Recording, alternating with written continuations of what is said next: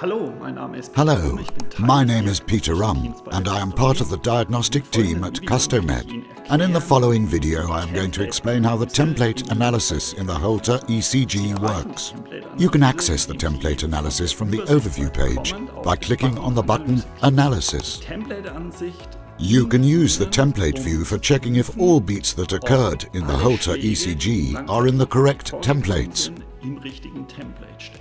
This means what happens in the template analysis. All beats in the Holter ECG are sorted in template groups.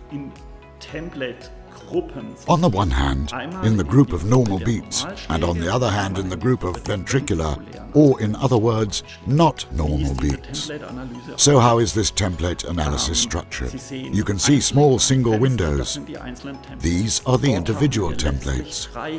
There we finally have three levels, coming from the level of normal beats, all beats that are similar, that are basically identical, are summarized in one template.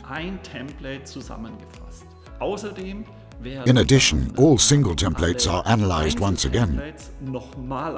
And in this next analyzing step, we do not look at the P wave side or the T wave side, but only at the central QRS complex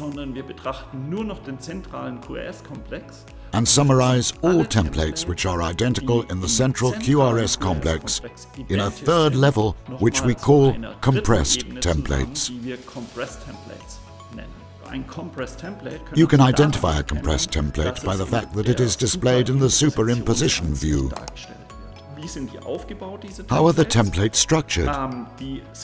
First of all, they are numbered, beginning from the left. The first template, template number one, is regularly a normal beat template, followed then by number two, three, and so on. If you have a multi-day evaluation, the day concerned is also displayed.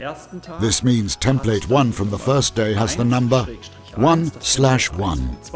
Template 1 from the second day is named 1 slash 2, 1 slash 3, and so on. At the bottom left in the boxes you can see a number. This number tells you how many beats are in this template. For example, if an ECG has 100,000 beats and there is the number 90,000, this means that this template contains 90,000 beats. Next to this you find a percentage. In this case this would be 90%, which means 90,000 beats represents 90% of all beats of this Holter ECG. At the top right corner of each template, there is a N or V, normal beat or ventricular template. So how can you edit these templates now? It is very easy. You click on such a template and then you can see at the bottom of the strip where the trend ECG is shown, the first beat which is in this template, which is usually marked orange. Now you can simply use your arrow keys, click through with the right arrow key and, if you are for example checking normal beat templates, check if they are all normal beats, if the template analysis has worked correctly. If that's the case, you can check the next template. You don't need to look at each single template, but you should focus on those templates which are very heterogeneous in the superimposition view. This is given by the compressed templates. This means, if you notice a high variability of single beats, click there. Look at the bottom in the trend ECG, if they are all normal or ventricular beats. And if you find that something is wrong, you can simply double-click on a compressed template and branch from the compressed template level to the template level. Now you can simply click on those templates that are normal beats. Each template you click on is selected, and you can rename these selected templates.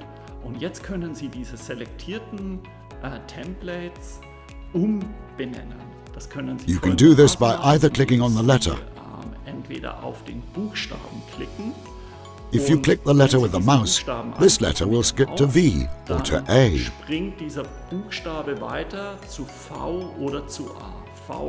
Resting on V means you make ventricular beats from this template and the beats of this template.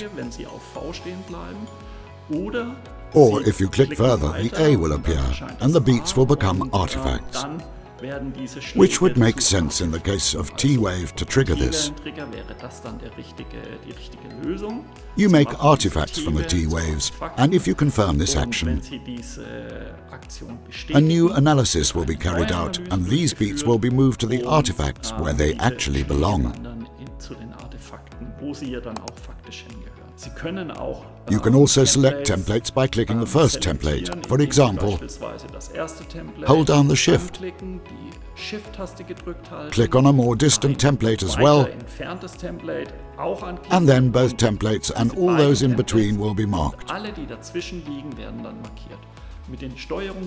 You can also mark templates lying in between with the control keys, or select them by clicking, for example, 1, 3, 5, Template 1, Template 3, Template 5, and if you have pressed the control key, the templates 1, 3 and 5 are selected.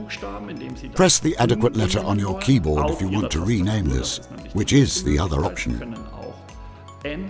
You can also choose the letters N, V or A on your keyboard and thus create this new class of templates from all templates and with them all beats contained in them. If you have done this, the class of normal beats will be definitely correct. All ventricular beats will be correct, and thus you have accomplished an important part in editing the Holter ECG.